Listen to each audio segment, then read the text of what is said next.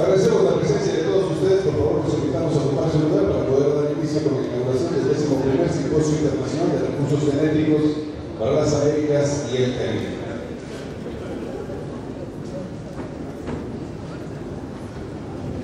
Saludamos a todos los que nos acompañan, de la misma forma a todas las personalidades que nos acompañan en el presidio. Para poder dar inicio, saludamos al doctor Andrés Gergen, director del programa de Biodiversidad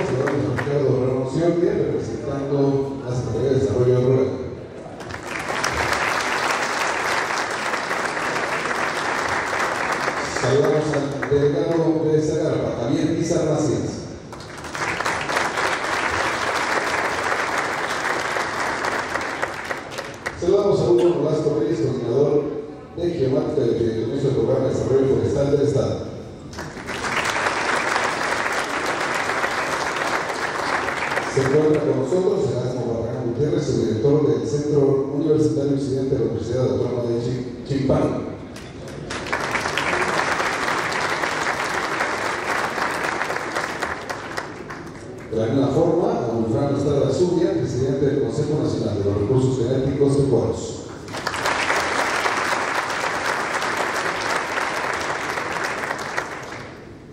Destaco la presencia de Camilo Macero, secretario ejecutivo del Programa Cooperativo de Investigación de Desarrollo e Innovación Agrícola para los Trópicos.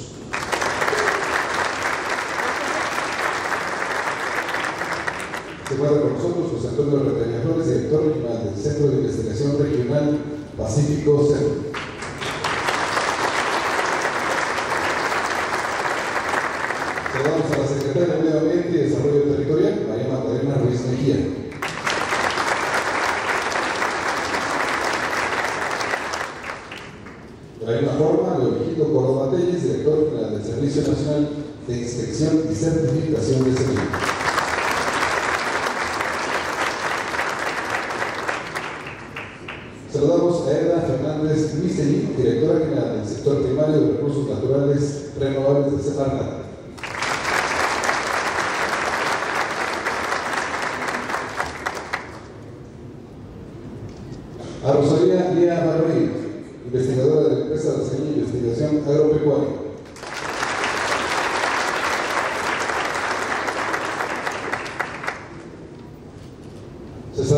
Espinosa Mancina, secretario ejecutivo del Sistema Nacional de Investigación y Transferencia Tecnológica.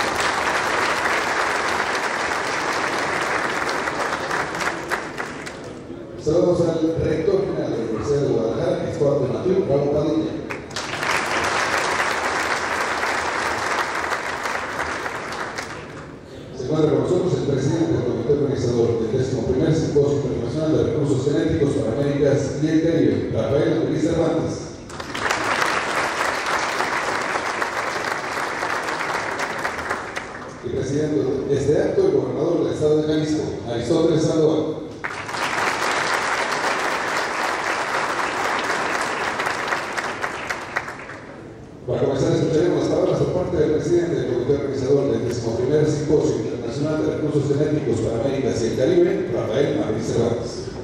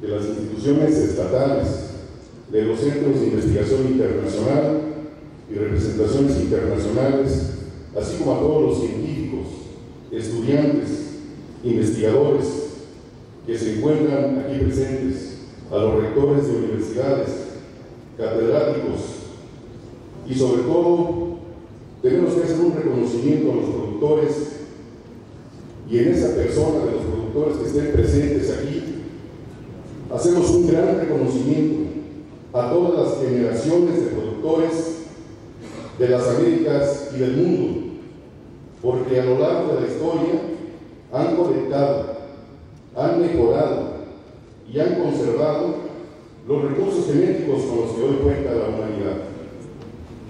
Me es grato compartirles y comentarles que el licenciado José Calzada Rubiosa, muy conocido como Pepe Calzada, nuestro secretario de Agricultura en México, en coordinación con el gobierno de Jalisco, en particular con el señor gobernador, y los productores de este bello y productivo estado, han llevado a diversas partes del mundo las verdes, el aguacate, el tequila y todos los productos que produce Jalisco.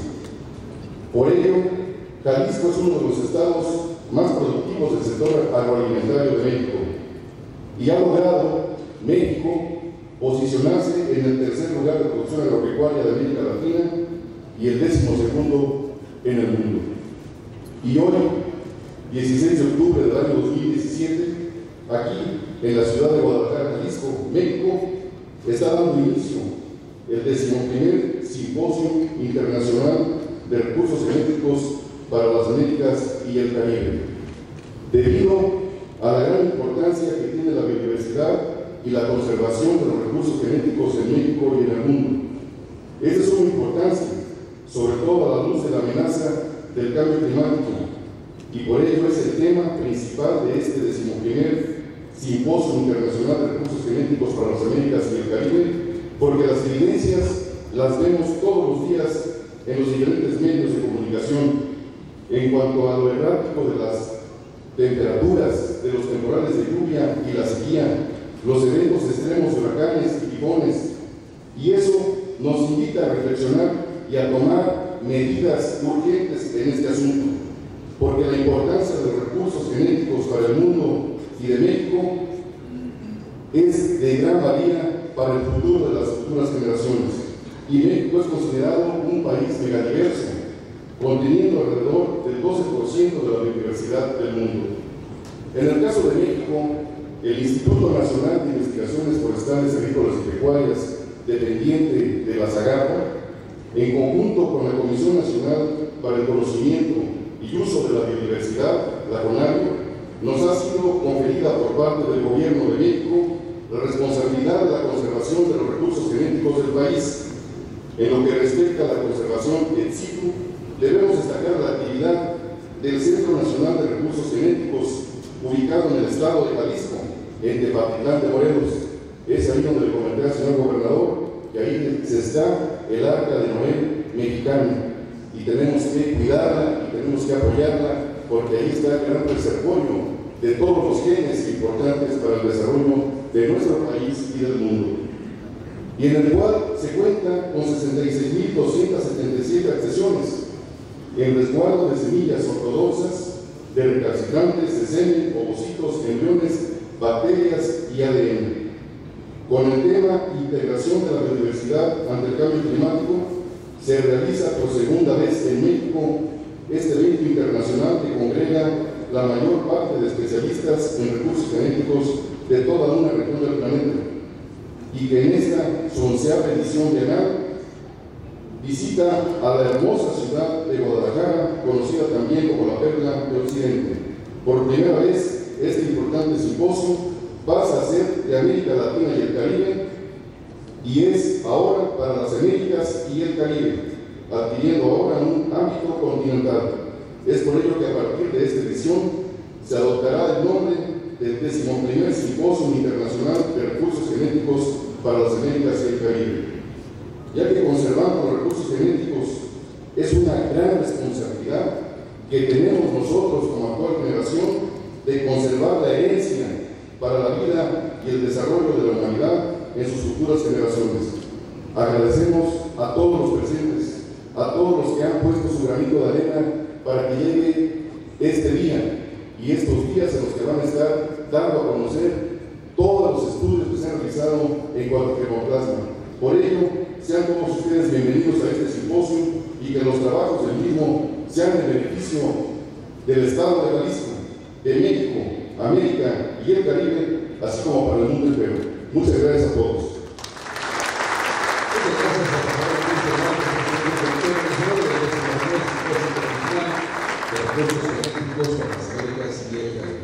A continuación escucharemos las palabras a cargo de la investigadora de la empresa brasileña de investigación de agromemoria, Rosalía Barbieri.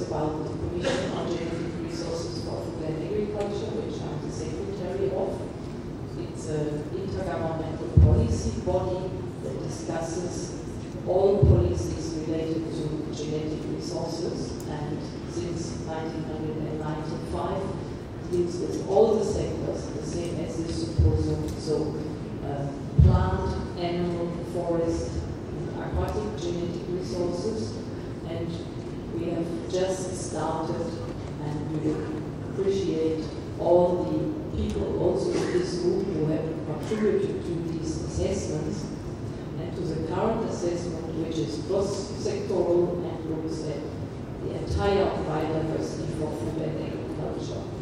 That means all the microbes and invertebrates, ecosystem services that support agricultural production in and around the production systems. And we see this as a very important part of moving towards biodiversity mainstreaming within the Commission's and FRO's work. To go one step further, here again we have to refer back to Mexico that hosted last year in Cancun the United Nations Biodiversity Conference and came up with very powerful recommendations on biodiversity mainstreaming. Um, and in response, FRO then offered to act as a platform on biodiversity mainstreaming, and this was confirmed by our conference in July this year.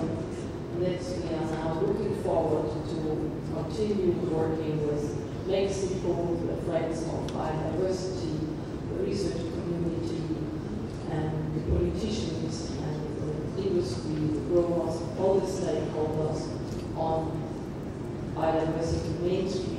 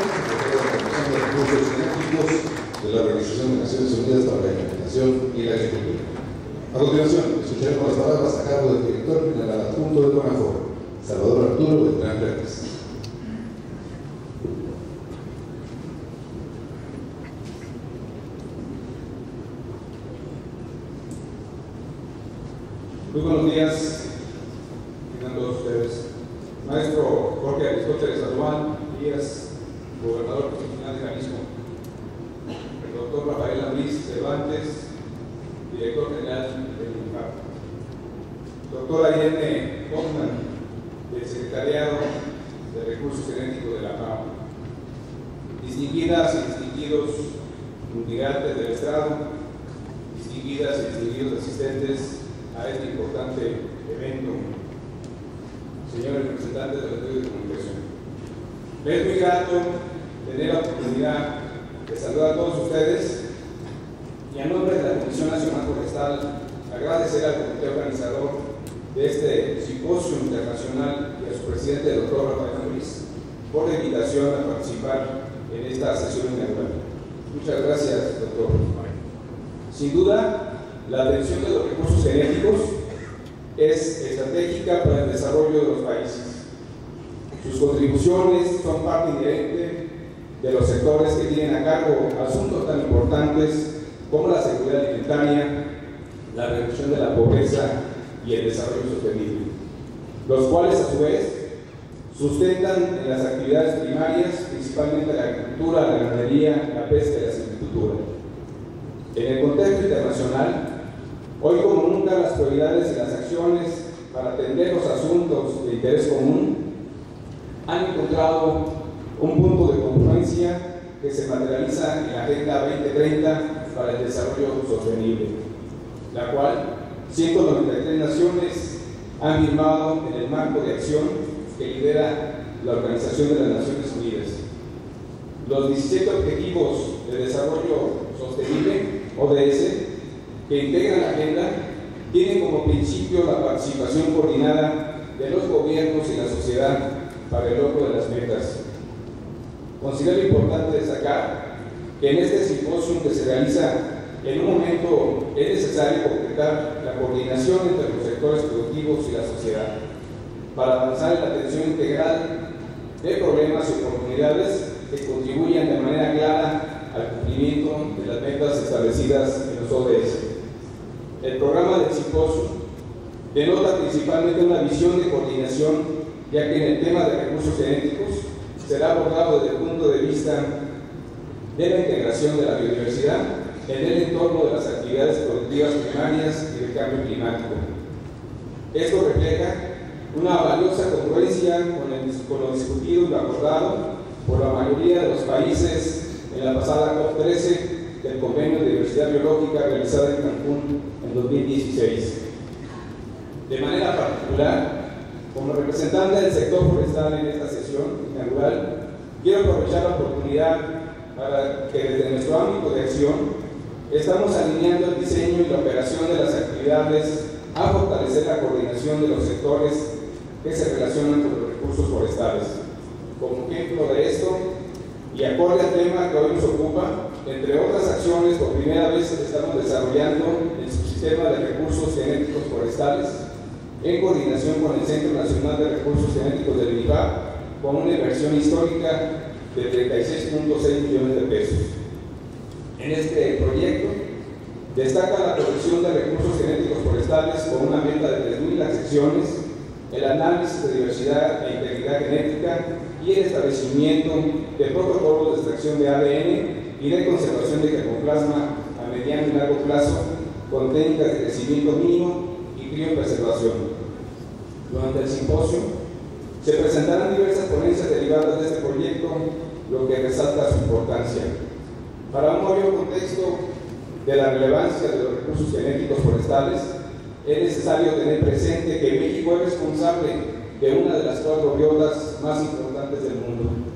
De acuerdo con la esta riqueza es consecuencia de la geografía, la topografía y la geología del territorio que hacen que en el país se presenten casi todos los climas del planeta y se desarrollen todos los ecosistemas terrestres que existen en el mundo. Representados básicamente por la vegetación forestal que cubre el 71%, 71 de la superficie del país. Los recursos genéticos forestales son esenciales para la, la, adaptación y la protección de los ecosistemas y de los sistemas de producción. Y como lo cita la FAO, la contribución de los bosques a la superación de los desafíos de la seguridad alimentaria, la, la mitigación de la pobreza y el desarrollo sostenible depende justamente de la diversidad de especies forestales. Así es como la diversidad genética forestal garantiza su aportación a los demás sectores. Por ello, la importancia de este estudio y su desarrollo.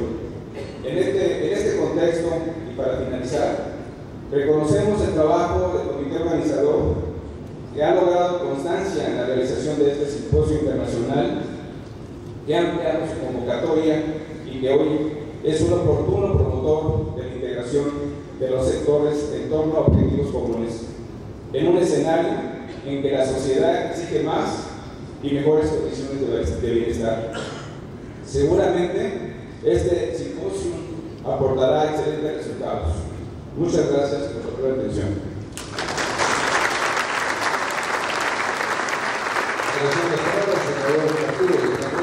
director general adjunto de CONAFO.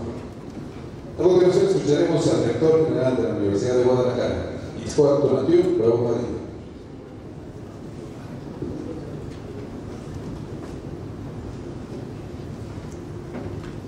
Muy buenos días a todos ustedes. Soy el gobernador del estado de Jalisco, soy secretario técnico del Sistema Nacional de Investigación y Transferencia Tecnológica, eh, estimada secretaria de la Comisión de Recursos Genéticos de la FAO, señor director general adjunto de la Comisión Nacional Forestal, eh, distinguidos miembros del presidio, estimado rector del Centro Universitario de Ciencias Biológicas y Agropecuarias de la Universidad de Guadalajara, distinguida rectora del Centro Universitario de la Ciénaga, estimados participantes que nos acompañan el día de hoy. En nombre de la Universidad de Guadalajara, es un gusto saludarlos con motivo del 21 Simposio Internacional de Recursos Genéticos para las Américas y el Caribe. Es un honor participar como coorganizadores de este foro de relevancia mundial que este año tiene como lema Integración de la biodiversidad frente al cambio climático.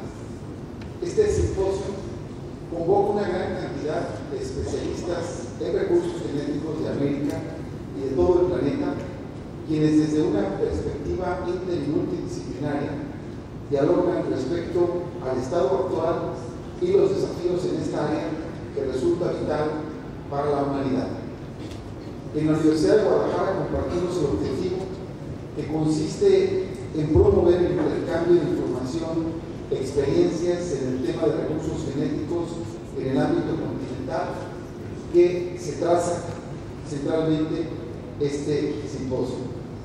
Celebramos que este foro se realice por segunda ocasión en México país que alberga más del 10% de la diversidad biológica del mundo.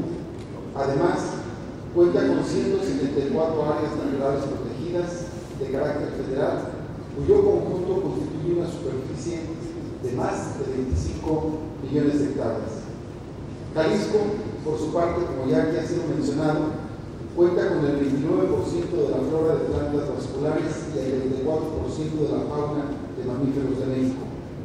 En cuanto a aves, la riqueza de especies de Jalisco constituye el 56% de la totalidad de México.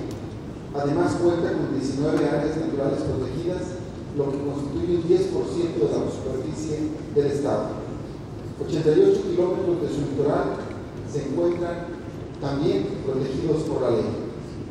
Resulta por ello afortunada la elección de Jalisco para llevar a cabo este foro internacional con los temas de la integración de la biodiversidad frente al cambio climático, la genómica aplicada a la conservación y uso sustentable de los recursos genéticos animales y el manejo de los recursos genéticos agrícolas, forestales, microbianos y acuáticos. De acuerdo con la FAO, como ya aquí lo expresó eh, su representante, las especies y la variabilidad genética de los cultivos animales de granja, organismos acuáticos, árboles, microorganismos e invertebrados conforman la biodiversidad de la que depende la producción de alimentos del mundo. En consecuencia, esa biodiversidad es uno de los recursos más importantes de nuestro planeta. La historia ha demostrado que los recursos genéticos son la base para garantizar la continuidad de la especie humana. Como bien lo establece la propia FAO, desafortunadamente, estos recursos se están perdiendo en forma alarmante debido a factores socioeconómicos y medioambientales entre los que sobresalen el crecimiento demográfico y, por supuesto, el cambio climático. Se prevé que el cambio climático impactará la producción de alimentos de diversas regiones del mundo, puesto que repercutirá en los sistemas agrícolas y en la infraestructura de distribución, especialmente durante la segunda mitad de este siglo. La gravedad de esta situación requiere de medidas efectivas y urgentes que detengan la extinción de especies y aseguren la biodiversidad del conjunto del planeta, contribuyendo al bienestar social y la erradicación de la pobreza. Por todo lo anterior, la Universidad de Guadalajara, entre sus acciones, ha implementado, entre otros aspectos, el Plan Universitario de Transición Energética, el cual, desde una perspectiva multidisciplinaria, pretende reducir la huella de carbono de las actividades de la institución mediante diferentes acciones. Ya tenemos un campus, el de Cutunalá, que cuenta con el, huerto fotovoltaico que produce el 90% de la energía que consume. De manera tal que este tipo de programas tienen que ver también de manera eh, paralela con el centro del debate que ustedes van a tener. De nueva cuenta, a todos los eh, participantes, la Universidad de Guadalajara les expresa su cordial bienvenida y nuestros mejores deseos para que la discusión que tendrán en los próximos días sea exitosa y permita la construcción de una agenda del tema con los avances más recientes eh, de carácter científico.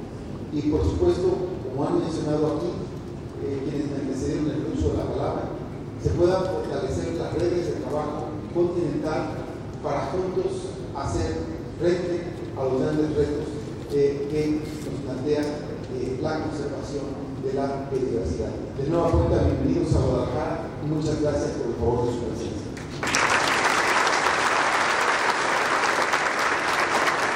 Muchas gracias al rector general de la Universidad de Guadalajara por sus. A continuación, escucharemos las palabras a cargo del secretario ejecutivo del Sistema Nacional de Investigación y Transferencia Tecnológica en representación del subsecretario de Agricultura de la SEGA, César Adrián Espinosa Mancinas.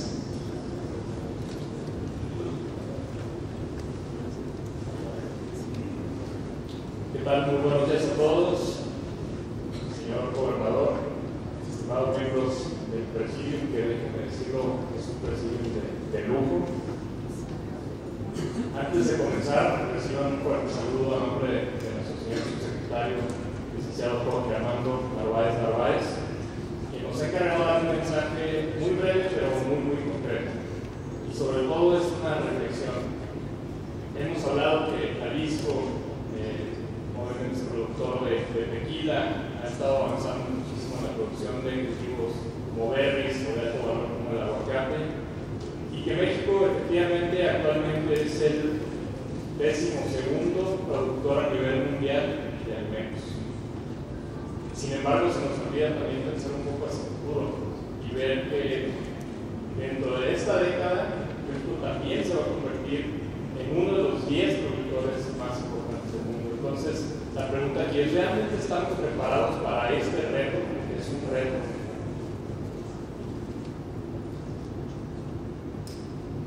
Viendo la agenda de trabajo que tenemos el día de hoy, la verdad la veo muy nutrida, hay bastantes discusiones, hay bastantes temas importantes, pero lo podemos resumir en tres grandes puntos. Hablan, hablamos mucho de la caracterización, conocer realmente nuestros recursos naturales, conocer nuestros recursos productivos. Hablamos de una conservación de estos recursos una vez que ya los conocemos, pero también hablamos de la necesidad de adaptarnos a las condiciones futuras del cambio climático. Y eso realmente también tiene un impacto. Desde la Zagarpa, déjenme decirles que estamos trabajando haciendo una planeación agrícola nacional, algo que no se había hecho en 50 años. Se identificaron 38 cultivos que también nosotros consideramos estratégicos, porque también hablamos de conservación de recursos genéticos, pero también estamos en esa conservación de, los recursos económicos. Es una realidad que cada vez tenemos menos recursos económicos, entonces necesitamos dar tiros de precisión, ser muy certeros y definir en qué le vamos a meter nosotros. Y dentro de esta agenda la, la pongo sobre la mesa, que está disponible en www.agenda2017.org.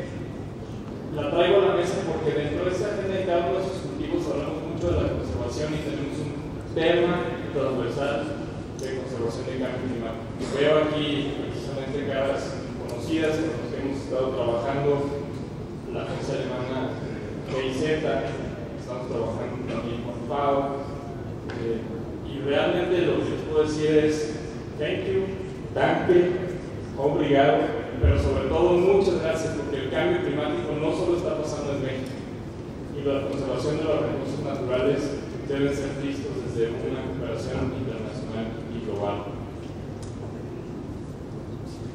Y le repito la pregunta, ¿realmente estamos listos para que dentro de estos 10 años México esté en el top 10 de los, de los productores de alimentos a nivel nacional?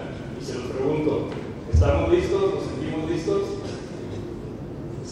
Entonces, les los invito a que sigamos demostrándolo, trabajando y poniendo el máximo de nuestro empeño en este primer simposio internacional de recursos genéticos para las Américas y el Caribe. Muchas gracias. Muchas gracias,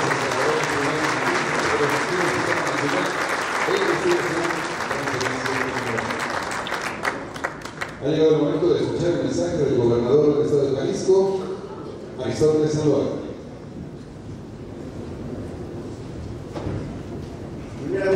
darles a todas, a todos ustedes, nuestros invitados, la más cordial bienvenida a esta su casa, un estado efectivamente que hoy es una, lo ha sido de la mexicanidad, que hoy ha recuperado ese liderazgo como gigante agroalimentario de México.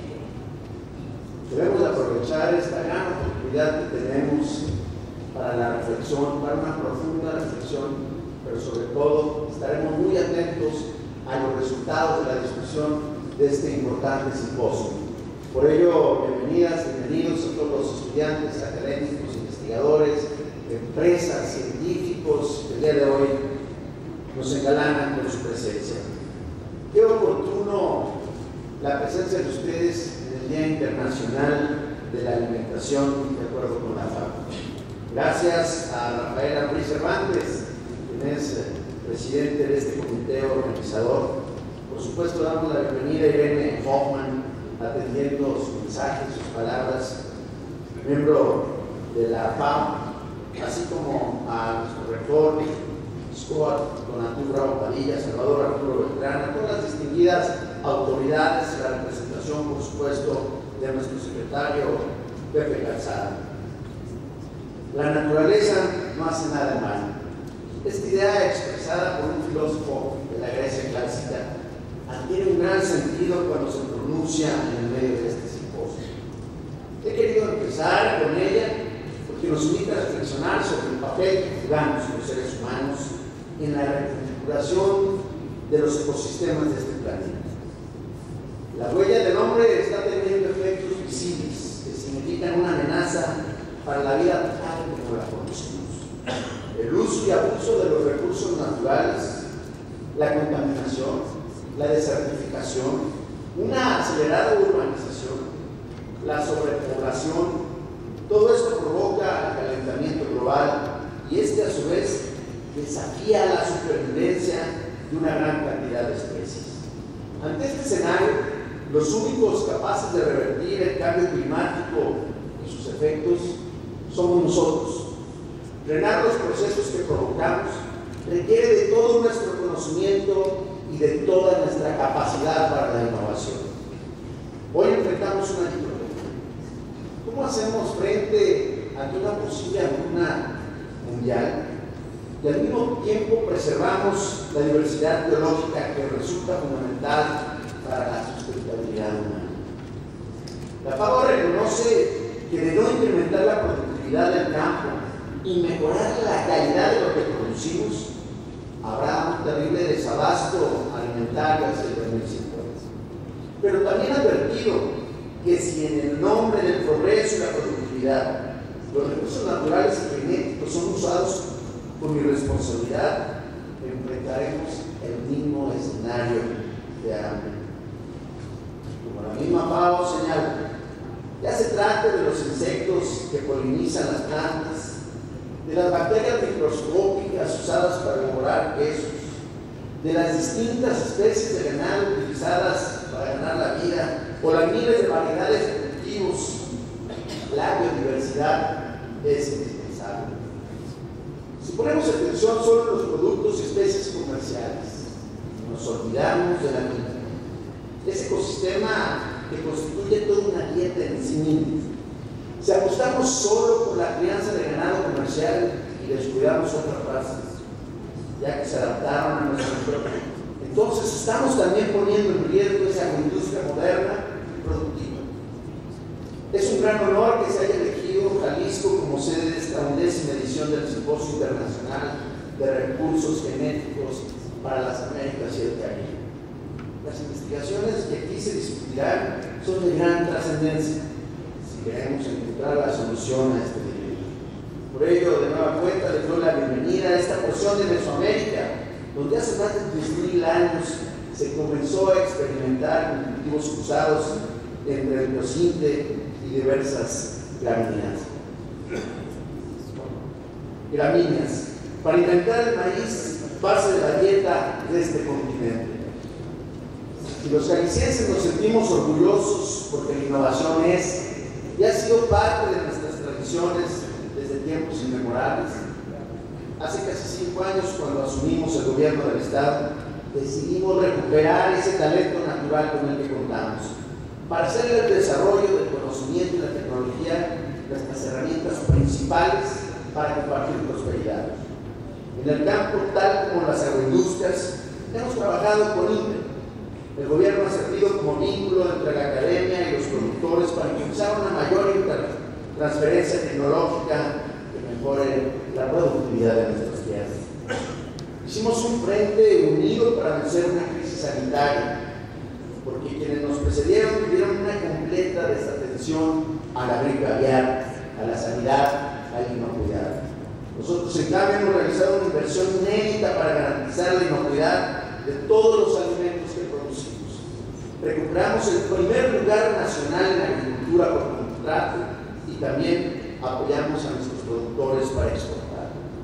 Si antes enviábamos alimentos a 35 países, ahora lo estamos haciendo a 80 naciones. Pero también actuamos con responsabilidad.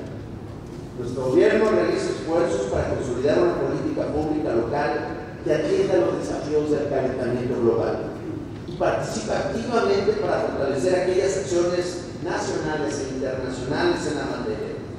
Jalisco es de los primeros estados en el país donde el sector agropecuario y el sector del medio ambiente trabajan codo a codo para hacer sustentable nuestro campo.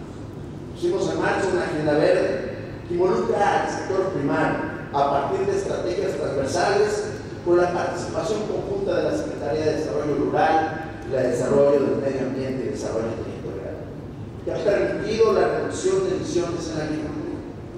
El gobierno de Jalisco fue el primero en sustituir la entrega de fertilizantes químicos por aquellos orgánicos y amigables con el medio ambiente. También hemos impulsado biodigestores en distintas regiones, así como logramos que el valor de los alimentos que producimos sea el más alto en el país. Esto ha sido gracias a la visión integral colaborativa con que ahora estamos abordando nuestros desafíos. Una de las cosas que más nos preocupa precisamente es preservar la biodiversidad de nuestro Estado, conocer su valor y sabemos que no establecer contrapesos a la vorágine económica, podríamos perder mucho de lo que hemos avanzado. Por eso, desde el año 2012, como aquí se refirió, en Jalisco somos los guardianes de la riqueza genética de todo nuestro se estableció el Centro Nacional de Recursos Genéticos, donde se resguardan colecciones de semillas, plantas, mametos, embriones, cepas y ADN de especies indispensables para el desarrollo de sistemas de producción sostenible y competitivo. Este es un legado fundamental para nuestros hijos y las futuras generaciones. Como pueden ver, las discusiones que tendrán lugar en este simposio nos interesan. Los seres humanos estamos ante un gran desafío. El dilema de alimentar a más personas y hacerlo mejor sin poner en riesgo nuestro capital natural. Y esto es muy complejo. Las respuestas concretas las están generando todas y todos ustedes, quienes investigan y generan conocimiento. Pero les quiero recordar que hay una palabra clave para el ejercicio de su trabajo, y esta es equilibrio. Deseo por ello que el desarrollo de este simposio sea para bien de la humanidad y que aquí en Jalisco podamos seguir siendo líderes y avanzar a través de la innovación, respondiendo con éxito a lo que resulte de su conocimiento, de su discusión y de sus reflexiones. Bienvenidas, bienvenidos todos. Por ello los invito, las invito a ponernos de pie para declarar formalmente inaugurado, siendo las 10 horas con 58 minutos de este día 16 de octubre del año 2017, este décimo primer simposio internacional de recursos genéticos para las Américas y el Caribe refrendando el compromiso de nuestro gobierno con el desarrollo científico, un legado de esperanza que dejaremos a las futuras generaciones. Enhorabuena muchas felicidades.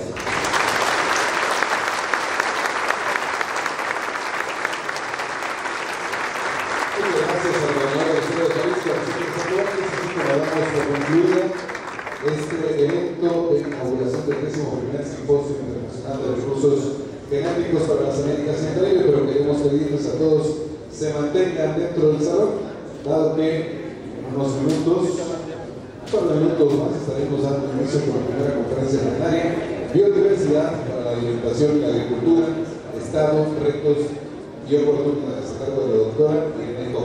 Enhorabuena y que tenga un excelente día.